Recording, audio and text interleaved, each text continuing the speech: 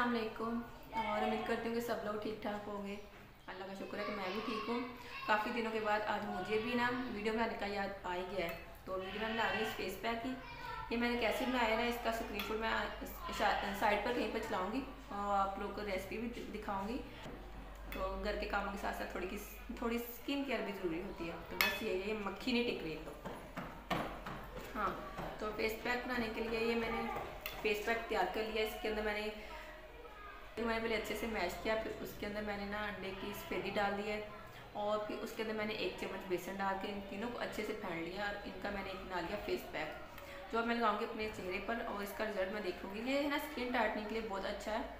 तो महँगे महँगे सीरम वगैरह तो लोग नहीं फोर्स करते और घर में जो हमारी छोटी चीज़ें होती हैं, जो हम सोचते हैं ख़राब हो रही हैं, जैसे कि केला पक जाता है, हम इसको फेंक देते हैं।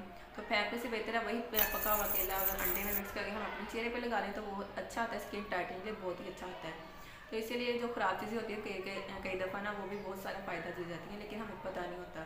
तो चलें जी, मैंने तो आज केले ख़राब हो रहे थे तो मैंने सोचा क्यों ना इसका फेस पैक बना लेती। हूँ तो मैंने अपना ये फेस पैक रेडी कर लिया है।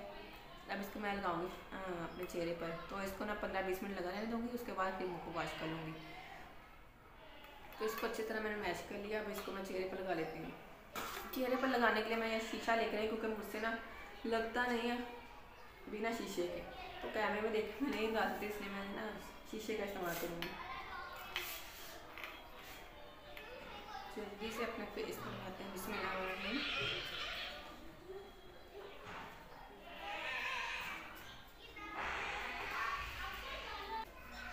इसमें अंडा है और बेसन है और केला है। अंडे की वजह से ना काफ़ी ना लगाना थोड़ा ना मुश्किल होता है, लेकिन मैनेज करना पड़ेगा।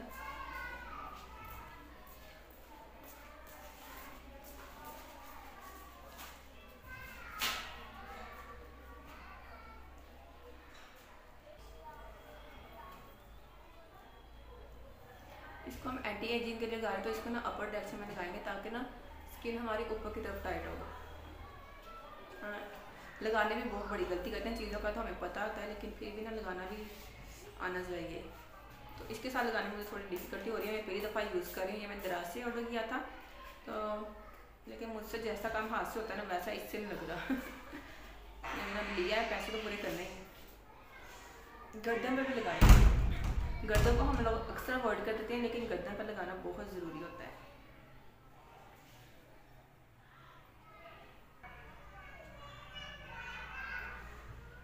तो मैं लगा लिया, अब दस पंद्रह मिनट तक मैं इसको लगाने ऐसे लगा रहने दूँगी। और ना बोलना बिल्कुल नहीं है। ये तो नामुमकिन सा काम है, लेकिन करना पड़ेगा, क्योंकि बच्चे मेरे इधर ही घूम रहे हैं, उनसे छुप के मैं इधर आकर वीडियो बना रही हूँ। तो मैंने सोचा काफ़ी दिनों से वीडियो नहीं बनी तो ये भी ज़रूरी है, ये भी बना लूँ। लेकिन अगर वो आए ना, बस पंद्रह मिनट की बात है, और तो पंद्रह मिनट बाद मैं इसको वॉश करके आपको रिज़ल्ट दिखाती हूँ, ठीक है? बाय बाय तो फेस पैक लगाए मुझे पंद्रह मिनट हो गए, अब मैं इसको वॉश करने लगी हूँ। सर्दियों में फेस पैक जल्दी ड्राई भी नहीं होते। तो अगर टाइम है तो आधा घंटा भी लगा सकते हैं, लेकिन अभी मेरे पास टाइम नहीं है, मैंने नमाज़ भी पढ़नी है। तो लेट हो रहा है तो अभी मैंने सिर्फ़ इसको पंद्रह मिनट अप्लाई किया है ओके तो अभी मैं इसको वॉश करके आती हूँ। तो अभी मैं फेस को ना वॉश करके आ गई तो मुझे ना इसका रिज़ल्ट काफ़ी अच्छा लगा है। क्योंकि ना काफ़ी ब्राइटन भी है स्किन पर और ना स्किन टाइट भी महसूस हो रही है मुझे। जब भी इसको मास्क मैं लगाया था ना तो काफ़ी कुछ सा महसूस हो रहा था मुझे स्किन पर। बच्चों से डर के मैं यहाँ पर आई थी, यहाँ पर कौन से लोग ना आ गई लेकिन ये लोग यहाँ पर भी आ गए। अच्छा चलो उधर चल रहा मुझे बोलने दो थोड़ी देर थोड़ी देर उधर चलो। हाँ ठीक है। तो मुझे तो ऐसा लग रहा है जैसे मैंने फेशियल करवा वाले से काफ़ी। स्किन स्मूथ हो गई और ब्राइटनिंग भी वाइटनिंग भी वाइटनिंग भी आई है चेहरे पर। तो बिफोर और आफ्टर का रिज़ल्ट आप लोग चेक कर लीजिएगा। तो अभी बच्चे बहुत जानते रहे तो आज का ब्लॉग मैं यही प्रेंड करती हूँ। अगर वीडियो थोड़ी सी अच्छी लगी हो तो ज़रूर इसको चैनल को सब्सक्राइब करें और वीडियो को लाइक कर दें। और अगर शेयर करना चाहें तो आपकी मर्ज़ी शेयर भी कर सकते हैं। तब तक के लिए अल्लाह हाफिज़।